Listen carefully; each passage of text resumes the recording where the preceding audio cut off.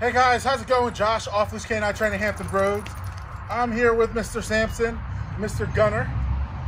Uh, Samson and Gunner, uh, lots and lots of energy.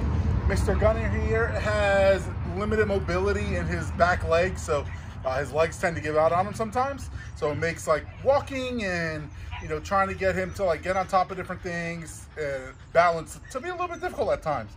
Uh, they do have some you know dog reactivity here and there, so it's definitely something we're to work on, get that nice and under control there, and just make them overall just better dogs.